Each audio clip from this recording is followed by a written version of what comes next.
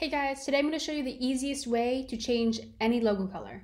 Okay, so let's come into here and open up this in Photoshop right here.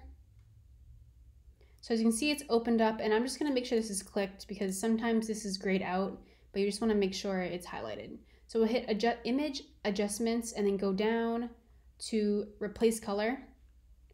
And then we'll just want to make sure this is clicked. So then we go to results and hit here so I just want to make it white today. I think it's just like the easiest color to make it.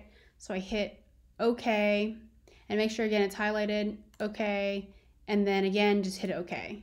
So then when we export this, so export, export as,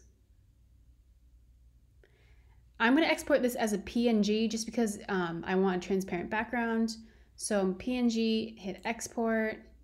You know, I'm just going to save this to my desktop, just make it easy hit save. And I'm not going to save this Photoshop file because I don't want it, but normally you should do that. Okay, don't save. And then as you can see right here,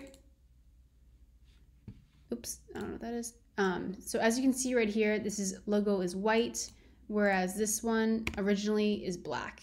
So that's the easiest way to change it. You can change it to any color. Um, you can you do RGB, you can do CMYK, whatever you want. But this is the easiest and quickest way to change, um, you know, any logo color in Photoshop.